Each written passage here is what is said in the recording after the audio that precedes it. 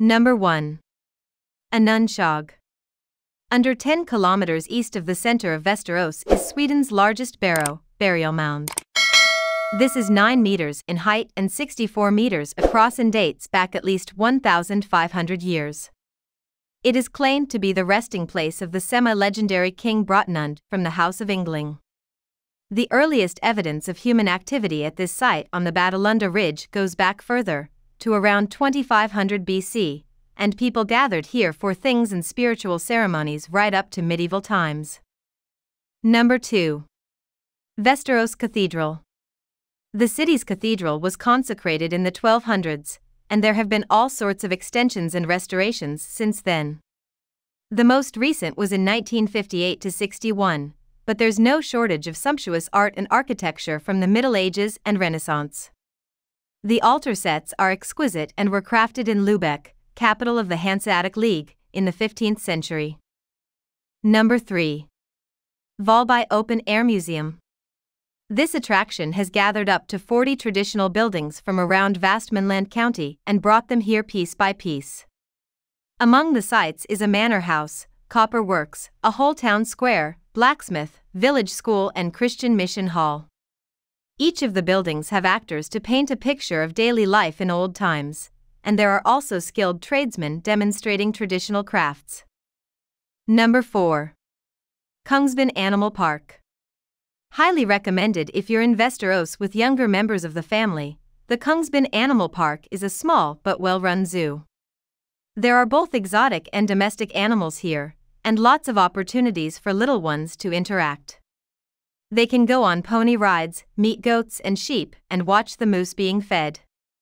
The animal park also has a terrarium, with snakes and iguanas, and braver kids will be able to touch and handle them. Number 5. Kokpunkten Action Bad. Kokpunkten is eight floors of slides and pools in the confines of a former steam power station on the east side of the city.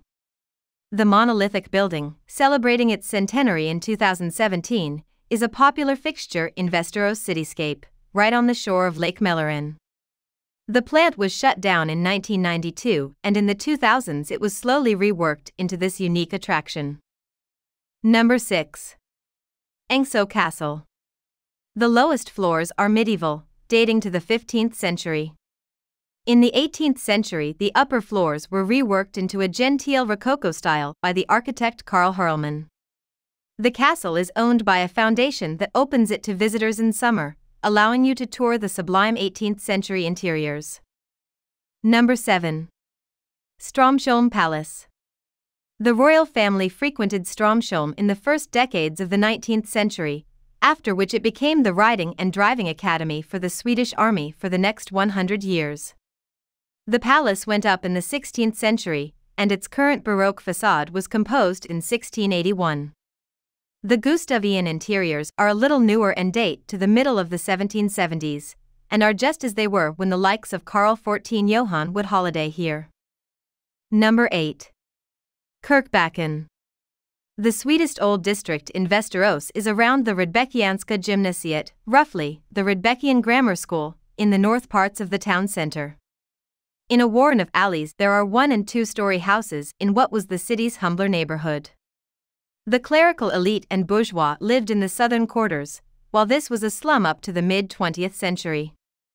Number 9. Västmanlands County Museum.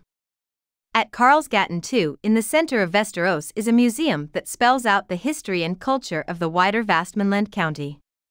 One of the exhibits you need to see is a treasure discovered in ancient graves at Badelunda, just outside the city. Dating from around the 3rd century AD, it's the largest hoard of gold ever found in a woman's grave, and is made up of bracelets, rings, and necklaces. Number 10. Botaniska Trädgården.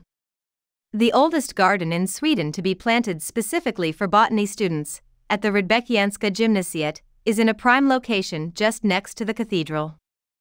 A protege of the great taxonomist Carl Linnaeus established this carefully ordered garden in the mid 18th century, and the species are all labeled with their scientific names according to the system Linnaeus invented.